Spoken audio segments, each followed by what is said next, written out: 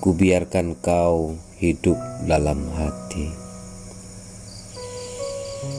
Tiba-tiba cinta itu tumbuh dalam sajak cintaku menjelang kematianmu, mengantarkanmu menghadap Tuhan, Tuhan yang mencintaimu dan mencintaiku juga, sebagaimana yang kau katakan padaku waktu itu, bahwa Mencintai perempuan pengembara sepertimu adalah resiko terbesar yang harus kuhadapi.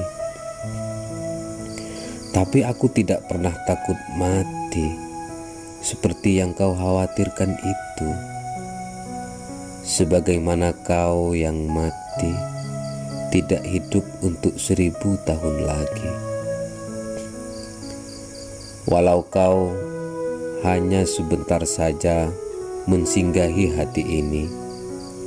Namun rasanya begitu lama kurasakan dan terasa sangat lama mengenalmu juga.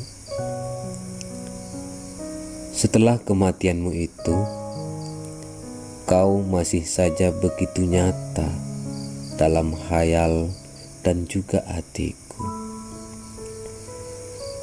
Air mata telah mengalahkanku kemuning. Cintamu juga tak pernah membebaskanku sampai kini.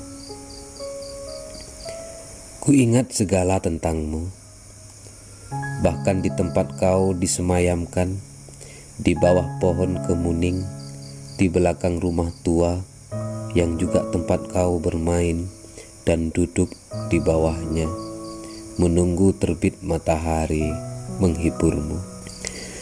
Di saat-saat kepergianmu, aku terus menghibur hatiku yang lara dengan mencoba mencintai bunga lain.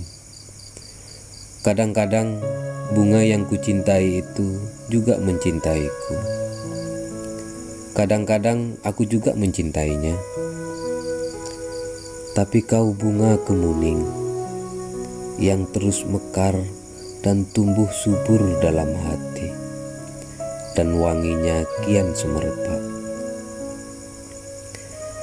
Tidak hanya itu, Kemuning, untuk menghiburku, aku juga berusaha membunuhmu agar kau mati dalam hatiku.